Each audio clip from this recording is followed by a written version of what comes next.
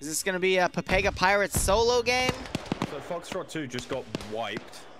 Or the, the, the lower force of Foxtrot 2. Yeah. They have no idea King's pulling up. They're all just trying to heal as best they can. Here's King. I think he's prepped a nade. He doesn't. He doesn't kill Jeffrey. He throws the nade.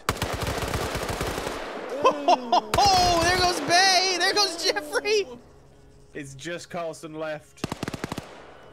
There's a reason the man. Oh, oh no.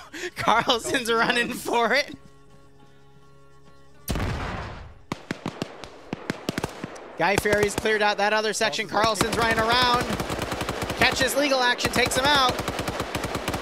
Val getting suppressed. Carlson taking fire. I think Flux just got him. But look at this Bravo 2 squad. They're They're running. running. They're running. They're scared.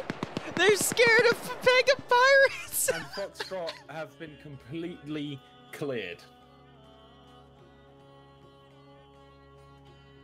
So that is a huge force now gone. You think Pepega are just gonna go straight to Terminal 2 and just take it? Because they have no resistance on that route anymore. I would not be surprised. Green Force just folding everything into the last objective. Bravo didn't bother folding.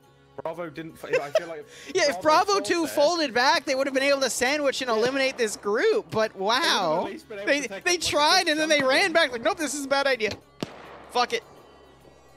they like you saw them all run out in force, and, And then they just ran around. back. Like who is it? Oh, it's the Pega Pirates. It's like, oh, okay, I'm turning around. Never mind. Oh no, but here we go. Now they start firing from afar, so they don't have to get up close. But